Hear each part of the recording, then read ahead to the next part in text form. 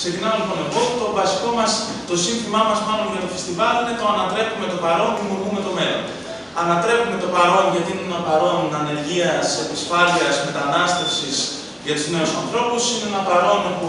το σχολείο και το πανεπιστήμιο διαλύονται και είναι ένα παρόν που μέσα από τον, την, την, τον σκληρό ατομισμό οφούνται οι νέοι άνθρωποι σε αυτό που λέμε τον κοινωνικό κανιβαλισμό. Από την άλλη όμως εμείς θέλουμε να δημιουργήσουμε το μέλλον. Δημιουργούμε το μέλλον, δηλαδή θέλουμε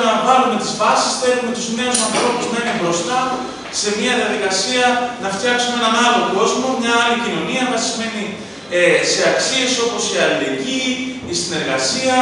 η αυτοοργάνωση, το να είναι οι νέοι άνθρωποι και όλος ο κόσμος να πάρουν να κάνουν αυτό που λέμε, να πάρουν τις ζωές τους ε, στα χέρια τους. Προκειμένου όμως να φτιάξουμε ένα νέο κόσμο πρέπει να τελειώνουμε με τα τραγικά απομεινάρια του παλιού κόσμου. Και με αυτό το πράγμα εννοούμε τον ε, φασισμό και το, ο οποίος μάλλον μας χτυπάει ε, ξανά την πόρτα με τον πλέον ε, τραγικό τρόπο, ύστερα με τη δολοφονία του, ε, του Παύλου Φίσα. Με αυτή λοιπόν την έννοια, εμείς θέλουμε το φεστιβάλ μας πέρα από όλα τα υπόλοιπα να έχει και ένα πολύ έντονο ε, αντιφασιστικό στίγμα. Θα το περιέγραφω ως εξής ότι θέλουμε το φεστιβάλ μας να είναι μια πλατιά μαζική γιορτή της νεολαίας απέναντι στο φασισμό, απέναντι σε κάθε πρακτική κοινωνικού κανιβαλισμού, απέναντι στο να στρέφουμε ο ένας το όπλο ε, στον διπλανό μας, απέναντι σε κάθε μορφή ρατσισμού, ξενοφοβίας και εξόντωση του εσωτερικού εχθρού. Αυτά είναι πράγματα που δεν, ε, δεν ανήκουν στην δική μας κουλτούρα, αλλά πολύ περισσότερο πράγματα που θέλουμε να τα διαγράψουμε μιας και διαπαντός ε, από την νεολαία και από, τους, ε, από την πρακτική και την κουλτούρα των νέων ανθρώπων. Ακριβώς επειδή θέλουμε να δώσουμε λοιπόν αυτό το έντονο αντιφασιστικό στίγμα, αποφασίσαμε την ε, κεντρική εκδήλωση που θα έχουμε την Κυριακή με τον πρόεδρο του ΣΥΡΙΖΑ, τον Αλέξη τον Τσίπρα, τον ε, διανοούμενο, τον Ταρή Καλή, τον Πανεπιστημιακό ε, και μια συντρόφισσα από το, από το Τιλίνκε. Περιμένουμε να μάθουμε ακόμα ποια θα είναι ακριβώς λόγω των διαδικασιών που έχουν εκεί πέρα μετά τις ε, ε, εκλογές και το επιτυχές ε, αποτέλεσμα. Θέλουμε λοιπόν αυτή η εκδήλωση να πάρει έναν ε,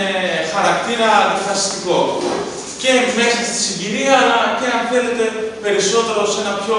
ε, αξιακό πλαίσιο, γιατί αυτή τη στιγμή η αριστερά πρέπει να σηκώσει ε, αυτά τα ζητήματα και πρέπει να είναι στην πρώτη γραμμή της μάχης απέναντι στον φασισμό. και σε δεύτερο χρόνο, ένα